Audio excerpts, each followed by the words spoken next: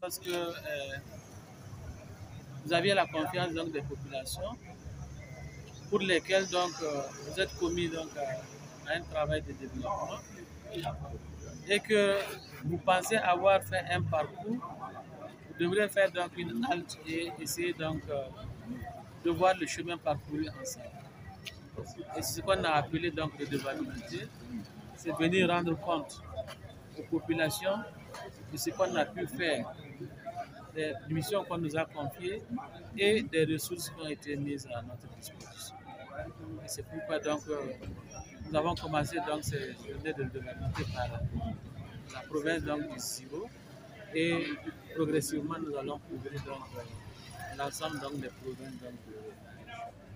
c'est dire simplement que c'est des réalisations que nous avons faites pour le bonheur donc, de nos populations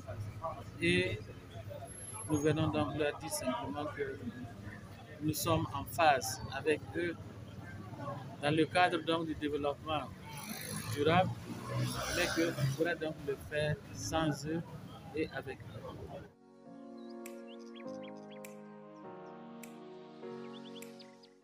Je dois retenir que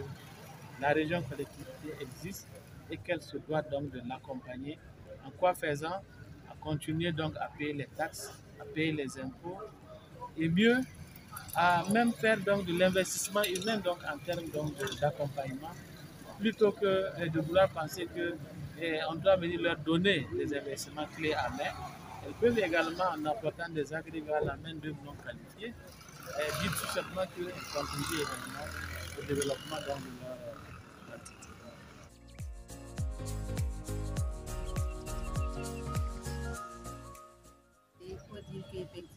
j'ai pris part à cette journée de redevabilité et de la délégation spéciale régionale du centre-ouest, que je salue vraiment à sa juste valeur. Et vous savez que nous sommes en phase transitoire et même sans la transition, le Code général des collectivités territoriales prévoit que après chaque année d'exercice, que soit le conseil